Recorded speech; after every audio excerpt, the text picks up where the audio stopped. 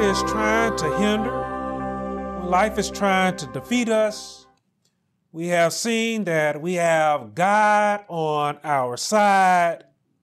We have seen that the Lord has given us sources of strength that we can draw from to be able to endure, to be able to persevere through life. Last week we saw that the Lord our God has given us a source of strength by giving us his pre- his peace through his only begotten son. And through his only begotten son we have a source of strength in that peace so that we can again be able to endure and be able to persevere through all that life throws at us when it is trying to knock us out. In my sermon today, we are going to see that again, we have another source of strength that the Lord has given to us, which Paul calls our bond of perfection. The bond of perfection, I tell you today, that it is another source of strength that you can draw from to be able to endure and to be able to persevere through life. Now, over my last five sermons, now six sermons, including this one, I have encouraged all you to live for the better. We have seen that we should live for the better by realizing that we are the ones that are in control of our lives. And because we are in control of our lives, we are in control of the choices. We are in control of the decisions that we can make in our life. And we saw in my very first sermon in this series that the first choice that we should make in our lives if we truly desire to live for the better is that we should choose God over everything. If you want to live for the better, then you would choose God first. You would choose God over everything. Yet choosing to live by the instructions of God, it does not mean that we will have no difficulties in life. Didn't I tell y'all you would hear it again in the sermon today?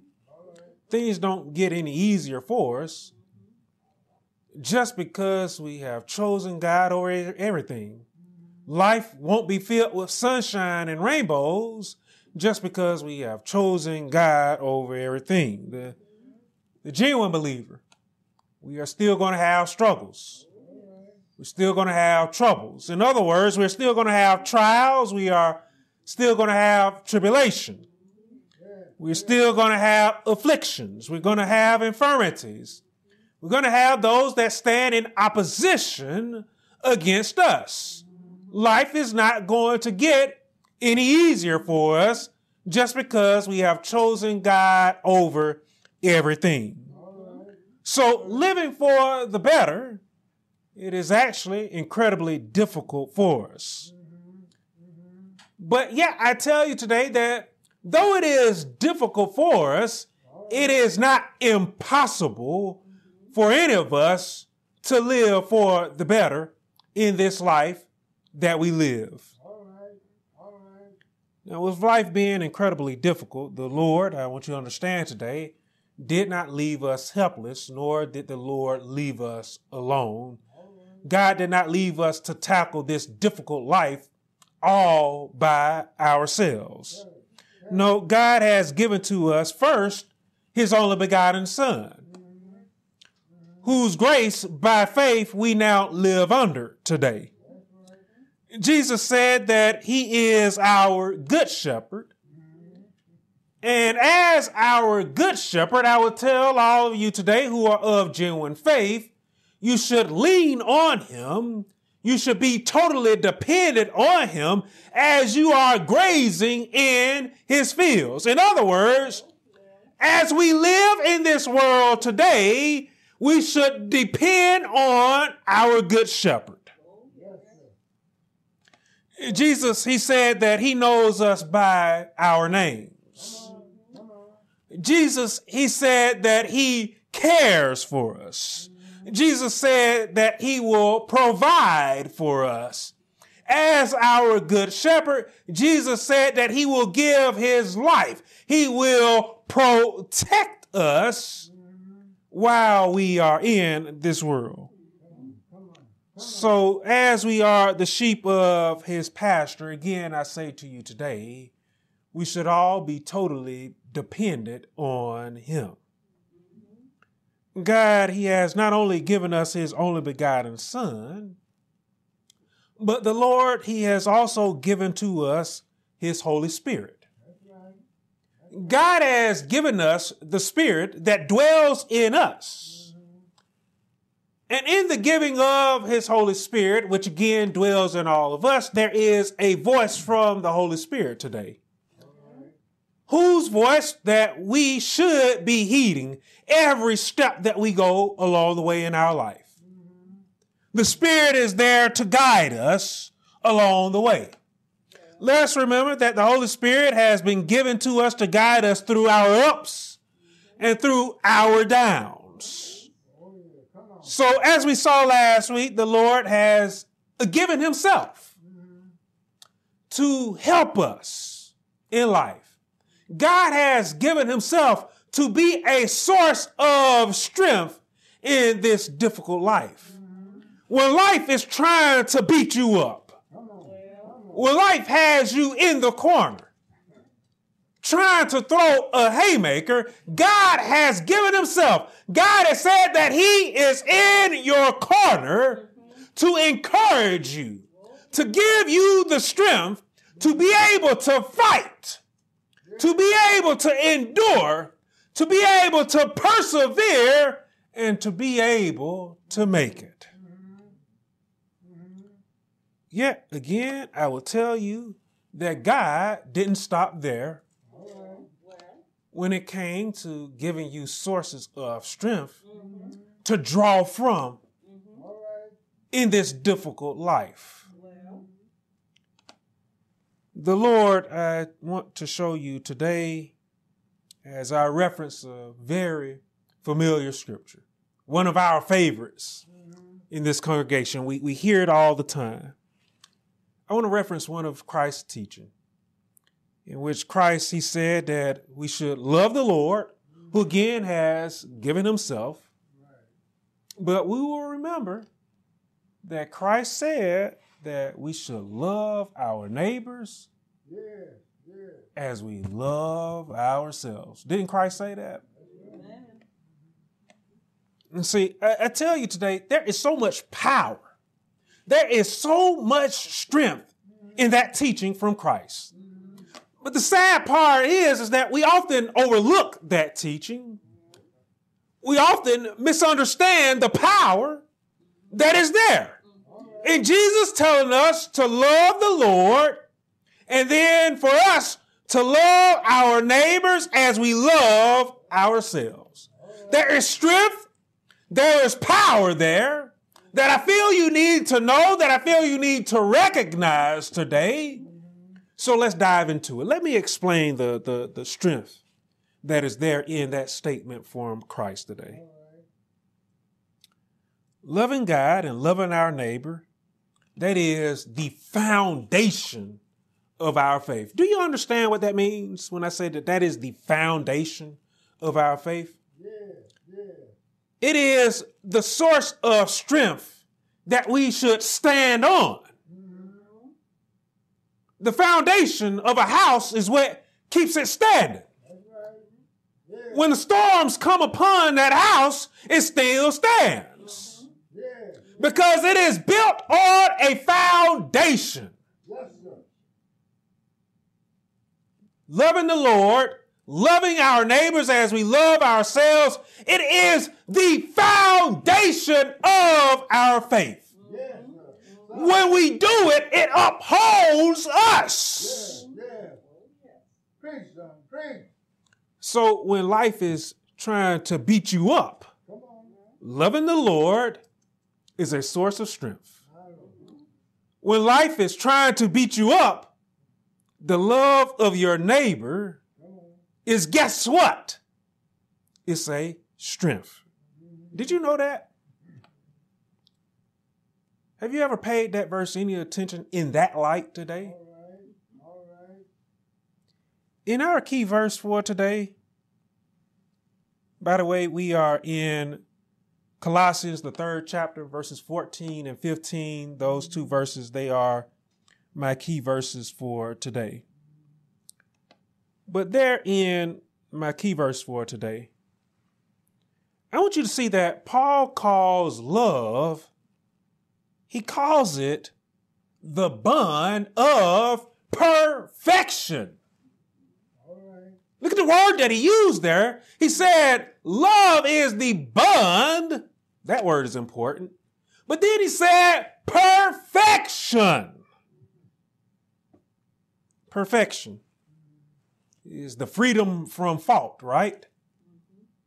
It is the freedom from defect. Perfection is flawlessness. Did you hear that? Love, Paul says there, is flawlessness. So the love that Paul was speaking of, it was or it is without stain. It was or it is without blemish. It is without defect. So as you often hear me say, when we start talking about the love that Paul is speaking about there, we ain't talking about love that is of worldly doctrine. Did you hear me?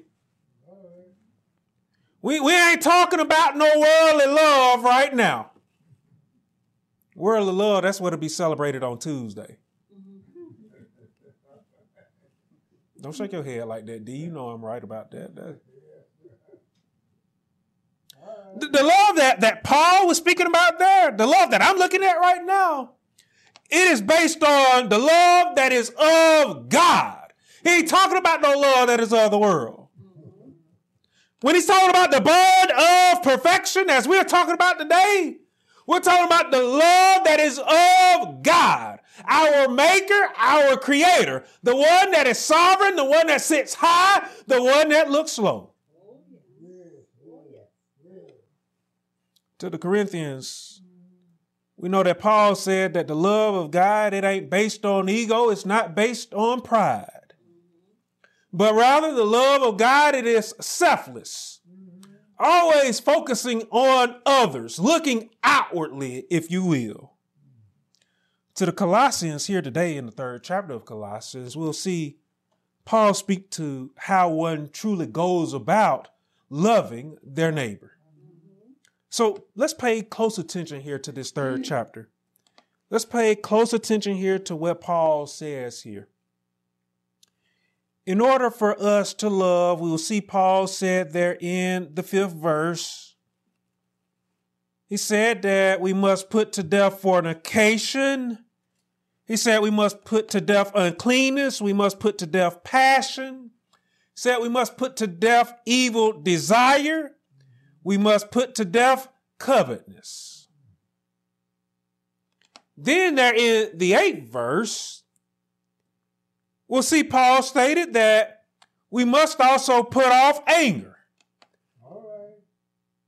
We must put off wrath. Yeah. Listen to this one.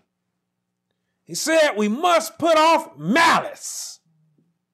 Don't overlook that word. He said we must put off blasphemies. Then Paul said we must put off filthy language. You know, a lot of times we look at that filthy language and we just think about cussing. Mm. But Paul wasn't just talking about no cussing and swear words and anything like that. We'll get into that in a moment. He said, lastly, there in the ninth verse, he said, in order for us to truly love, Paul, he called for us not to lie. He said, we shouldn't lie to another. Lying is filthy language. I, I would throw that out there for you. Like I said, I'll, I'll get to filthy language in a moment. There that moment is. Because a lot of times we just think of cussing, but anything that can tear someone down, that's filthy language. It ain't doing no good. But he said lie. He said, don't lie to another. And the reason why he said that we ought not lie to another is because lying is the way of our old man. And guess what? You said that you were of genuine faith. And so if you are if you are of genuine faith, guess what you should have did with that old man? Old man was supposed to have been thrown away a long time ago. Old man should have been put off of you a long time ago. Have you thrown that old man off of you yet? So when Jesus calls for us to love our neighbors as we love ourselves, we, we should understand, we should have a clear understanding here of how we should do so. See, when we remove things like anger, when we remove wrath, when we remove malice, when we remove evil desire, or we remove something like covetousness away from us, we can begin to love somebody. Did you hear that? When, when you stop lying to people, when you stop speaking to them to tear them down, when you stop using filthy language, you can begin to draw closer to someone. We can come closer together and we can form stronger bonds. See, coming together in this manner, drawing closer together, forming that bond of perfection, we have a word for what that kind of love with one another is called. And that word is fellowship. We would live in fellowship with one another. Therefore, the bud of perfection that we're speaking of today and that we're looking at today is fellowship. Fellowship with each other. You see, fellowship with the Lord, we know that it is a very strong source of strength. But again, we often overlook, we often undervalue fellowship with each other. And we should stop doing that. It's time for us to stop overlooking fellowship with one another. It's time for us to stop undervaluing fellowship with one another. Again, it, I would be remiss if I ignored the month that we are now in. In our people, we've always had a, a close bond with each other because of the color of our skin, because of understanding what we go through. And I believe I say this every Black History Month, but I feel like I always remember what my dad and what my uncles, my aunts, my grandparents, and how they spoke of how we were in the past and the the tight community that there was in the past and my, my dad would often talk about if he messed up in school, by the time he would get home from school, his, his folks would already know. That's the kind of fellowship that they had. My aunt said, Yeah, that's true. That's the kind of love that was out there. Because they just wanted to see the young ones succeed, and, and we ought to want to see each other succeed today fellowship with each other, I tell you today that it is a very powerful source of strength when it comes to wanting to live for the better, mm-hmm. when it comes to wanting to endure, when it comes to wanting to persevere through life itself. Again, I say to you, God did not leave us helpless, nor has He left us to tackle life by ourselves. We have each other. This, I'm telling you, is coming from someone who would call himself an introvert. I love being by myself, but at the same time, I know that I can't take on life by myself. Again, I went through five years of dialysis, and, and I tell you that I didn't make it through those years by myself. I didn't go through that great struggle. I didn't go through that tribulation on my own. I had nurses, I had doctors, I had my brother. Most importantly, I had my mom who was there every step of the way. And I stand here today because of God, because of them, and because of all of you as well. We need Him, the Lord, but at the same time, we need each other to make it through life. We need each other today. In his first epistle, John, he spent a great deal of time focusing in on the bond of perfection. That is love and fellowship. He, in his first chapter, First John, the third and the fourth verse, John, he wrote, and he encouraged others to join in and be in fellowship with the Lord and all of those who are of genuine faith. Now, John, he did this again because he knew the power and the strength of being there for one another. He knew the power and strength of loving your neighbor. You see, by being in fellowship with the Lord and with each other, John, he stated there in that first chapter and in the third and the fourth verse that our joy will be full. In other words, we will be living for the better. We will be at peace. So, again, if you truly desire to live for the better, if you desire to be happy, if you desire to be joyful, what should you do? You should love the Lord with your whole heart. And then, guess what, at the same time, you should be loving your neighbor as you love yourself. The bond of perfection, I tell you today, it is one that uplifts. You hear me say that all the time about love. You never hear me say that love will tear you down. The bond of perfection will uplift you to higher heights. That is, the love of God will lift you to higher heights. The love of the world, it can't do such a thing. Scripture, it points out, it makes a very drastic difference between love that is worldly, that is of worldly doctrine, and love that is of the Lord. See, worldly love has caused many people to grow envious of others. Worldly love has caused many people to try to make others jealous. Worldly love, in other words, it causes people to be jealous of others. Worldly love, it likes to play games Worldly loves like to make people to compete. Frankly, when you think about it, uh, when it comes to worldly love, worldly love is incredibly dangerous.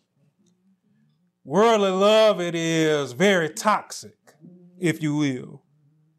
See, I'm sure you have heard that old saying that says, love can make you do some crazy things.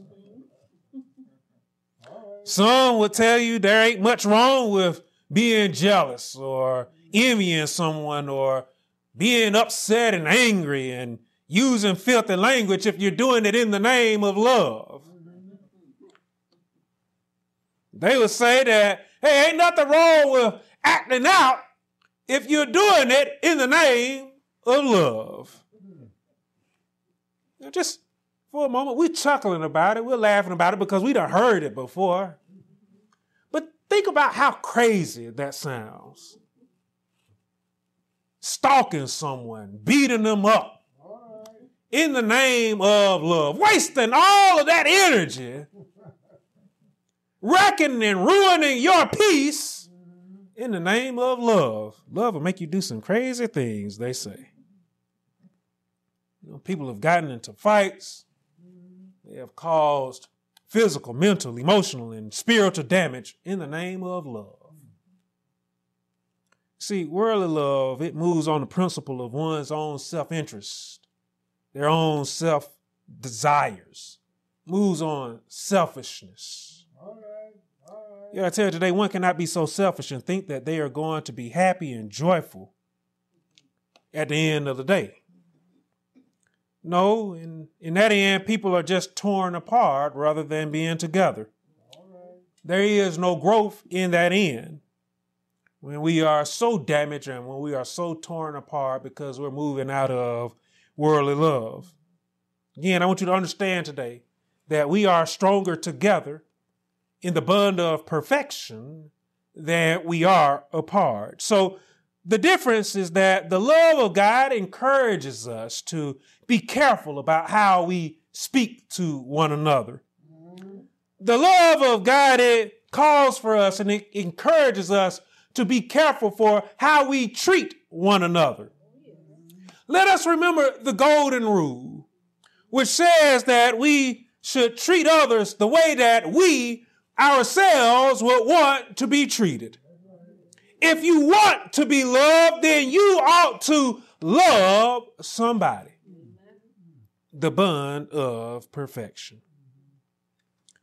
Later, here in his first epistle, John said in the third chapter and in the 11th and the 12th verse that we have heard from the beginning, or what we have heard from the beginning, is that we should love one another and not be like Cain, who was of the wicked one and murdered his brother. Rather than loving his brother, Cain killed him. When the Lord desired for Cain to stop thinking just about himself. When the Lord desired for Cain to not only love himself, but to love those that were around him. Cain, he killed his brother because he was too self centered. Think about that kind of love there. You see, this is made clear to us when he was asked by God where Abel was just after he had killed his brother. After he had killed his brother, Cain gave a response to the Lord that was apathetic and that was self centered. Cain, he asked the Lord, Am I my brother's keeper? He loved himself, didn't he? To the point that he said that he was being smart about it, but I tell you, he was supposed to be his brother's keeper. Just as Abel was supposed to be his keeper, and I imagine that Abel was his keeper. Repeatedly throughout Scripture, we are called to be kindly affectionate one to another with brotherly love. And to let brotherly love continue. You and I, we should understand we are to be each other's keeper today. Not just focusing in on ourselves, but focusing on all of those that are around us and loving them with brotherly love. The proverb said, As iron sharpens iron, so a man sharpens the countenance of his friend. You see, again, I tell you that we are to look out for each other. We are to always be ready to help each other in the name of love. The love that is of the bond of perfection. The love that is of the Lord our God. See, when we're always ready to help one another, when we're always looking out for one another, when we're always each other's keeper, that is the true bond of perfection. That is true love. Paul called on us as the elect of God to put on tender mercies. He called for us there in the third chapter of Colossians, the 12th and the 13th verse. He called for us to put on kindness, to put on humility, to put on meekness, to put on long suffering, to bear with one another, and to forgive. To forgive each other. Again, to reiterate, to reiterate the point here, we are to be each other's keeper mm-hmm. in brotherly love. As John said, if we love one another, God abides in us, yes, yes. and his love has been perfected in us.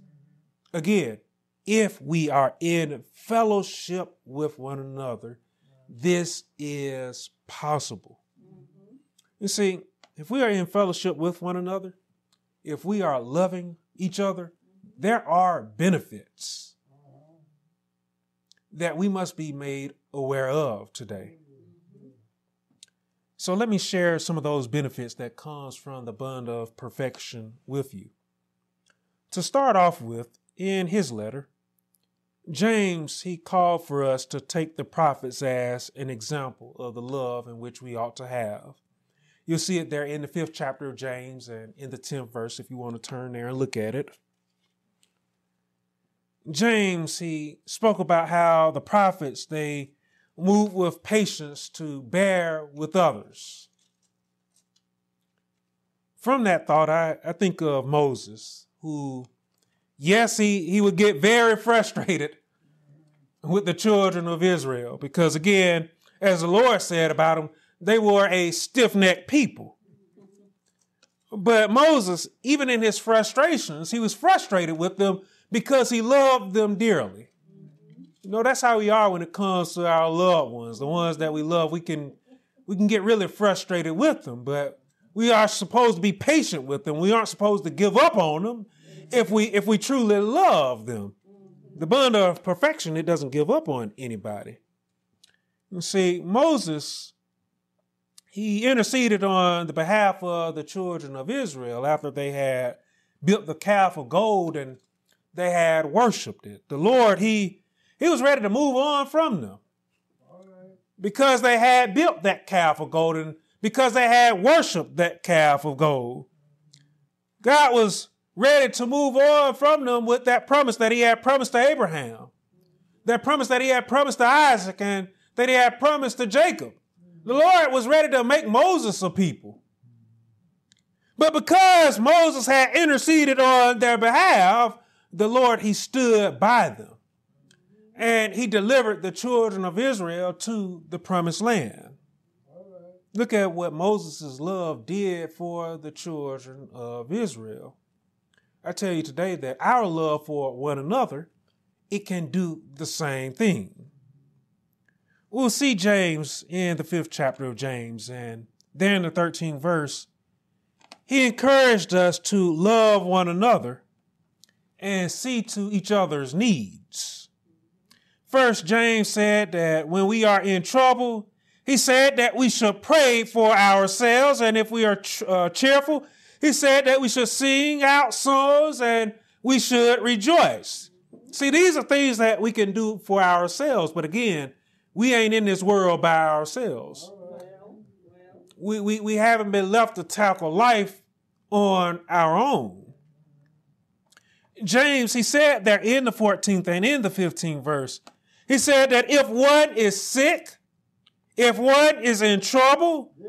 they should be prayed for. Guess who should be praying for? James, there in those verses, he called on the elders of the church to pray over the sick and to anoint their heads as a form of medical treatment so that the sick could get better. Yeah, I want you to understand there. James didn't say, hey, you leave those that are sick, leave them to their sickness. James was calling on us to love. James, he was calling on fellowship. He was calling on the bond of perfection. For all of us today in the bond of perfection, I want you to understand we should be doing no less. If you see someone sick, you shouldn't just leave them to their sickness. And I want you to understand today sickness ain't just physical, it's mental, it's emotional, it's spiritual as well. We should leave those who are afflicted to their afflictions by themselves. What would that make of us who have been called to love our neighbors as we love ourselves? Guess what we should be doing? Prayerful. We, we should be praying for each other in our sicknesses, in our trials, and in our tribulations. Guess what we should be doing for each other? We should be praying for each other and even those that are beyond our walls. That's what we should be doing. You see, prayer, again, it is so powerful. Praying for each other is so powerful. Collective prayer, I tell you today, it is so powerful, but why are we overlooking it today? Why are we undervaluing prayer today? Why do we not take collective prayer seriously today where prayer can fix things today. I don't know if you hear me here today. Collective prayer, Paul said to the Corinthians, is able to deliver us from troubles and from burdens that are beyond measure. In his letter, Paul would repeatedly thank those who would, would pray for him. We saw that in our Sunday school lesson. At the end of our lesson today, what did Paul do? when he, when he spoke about, when he testified of what he went through in Asia. He thanked the people for praying for him because those prayers, they went to the Lord and he was uplifted over his trials, over his tribulation. Again, we should not undervalue the power of prayer. With my own eyes, I have witnessed what prayer can do, not just for me, but for all of those that are around me. Years ago at Pilgrim Rest, I witnessed what collective prayer did for a deacon of the church. I know what prayer can do for someone. I know what prayer can do when we come together and when we pray for each other. Do you recognize the power of prayer today? Again, I testified of my years of dialysis. And again, I said that I didn't go through dialysis and make it through by myself. I know what collective prayer brought me through. I know what we can do for one another today. And I'm calling on that today. I'm calling on us to uplift one another today instead of being so selfish today. The bond of perfection, it ain't selfish. It is a bond. It is togetherness. James said in the fifth chapter of James and the 16th verse, he said that the fervent prayer of the righteous avails much. It'll do something.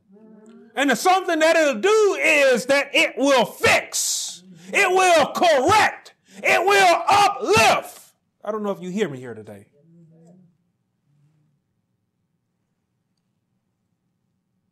Also, in the bond of perfection, if we truly love each other, James, he said that we should talk to each other. There in the 16th verse again, there in the fifth chapter of James. There is much power and encouragement in just simply talking to each other. That's why I love when we can fellowship together after a service.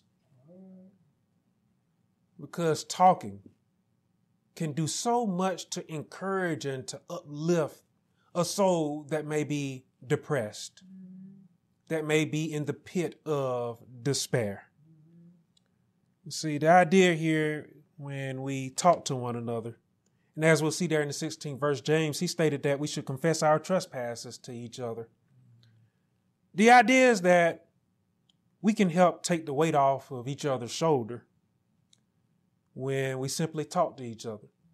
Do you realize that you can help someone with the weight of their guilt and with the weight of their burdens if you're simply there to listen and then to talk to them?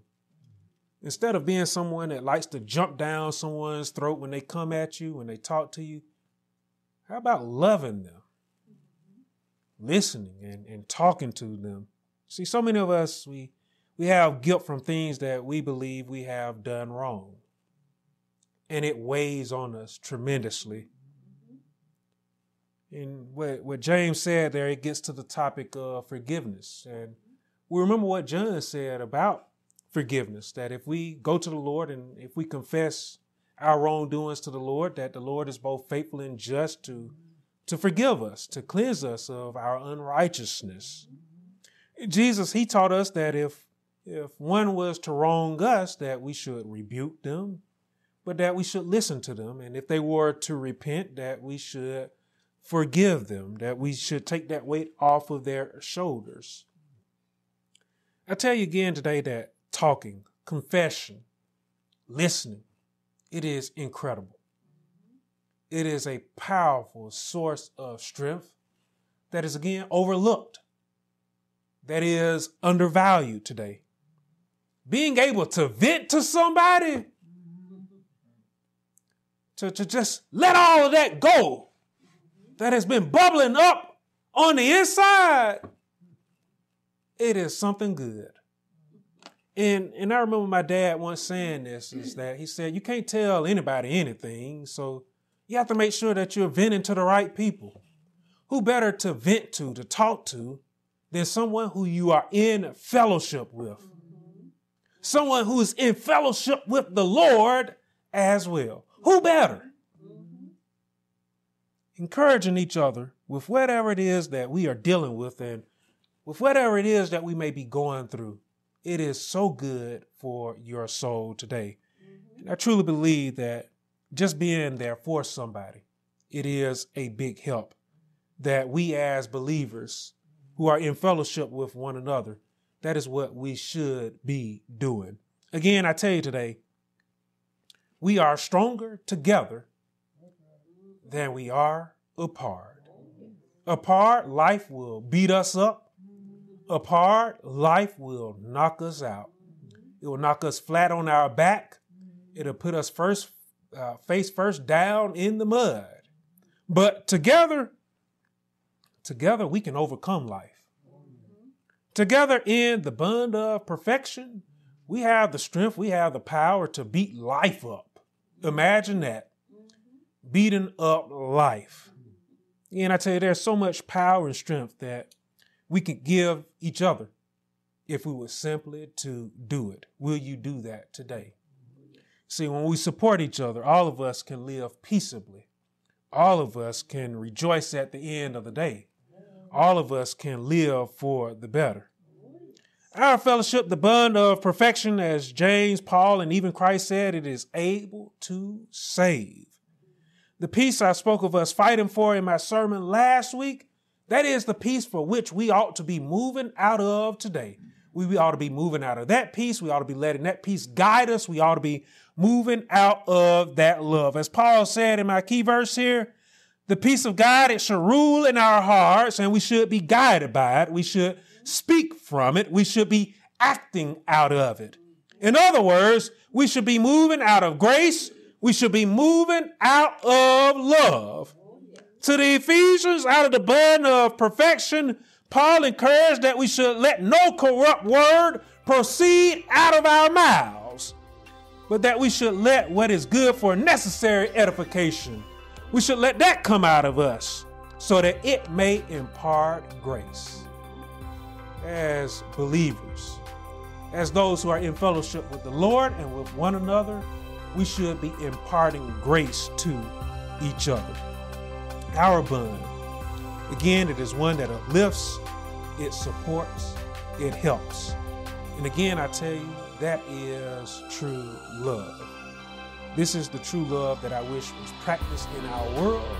This is the love that I wish was celebrated not just on Tuesday, but every day of the year. In the end, we can only truly live for the better. We can only truly live at peace if we love one another with the love that is of the God and in the bond of perfection. Amen. Amen. Amen.